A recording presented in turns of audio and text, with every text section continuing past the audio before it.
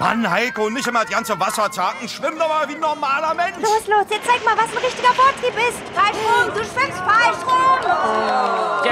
Richtig erkannt, Leute. Ich bin's, Sandbad, der Kiesseefahrer. Dann sind Sie das, der damals beim Buchholzer Stehsegeln mit satten 2 km/h eine Seerose gerammt hat und rief, Boah. Lust auf ein Eisi? Na, wenn ich den Löffel jetzt noch halten kann? So, ein gemischtes mit Früchten, Schwarzwälder Kirsch und drei Schweden-Eisbecher. Den Unterschied schmeckt man aber sowieso nur an der Farbe vom Löffel. Da können Sie sich hinsetzen, wo Sie wollen. Hier schmeckt jede Sorte gleich. Faszinierendes Konzept. Ja, damit kein Neid aufkommt. Ja, sonst wollen wieder alle voneinander kosten. Genau. Das riecht nach offenem Mülleimer. Aber nach einem offenen Westmülleimer. Sie sahen die italienisch-russische Koproduktion Die Rache des weißen Indianers mit Franco Nero.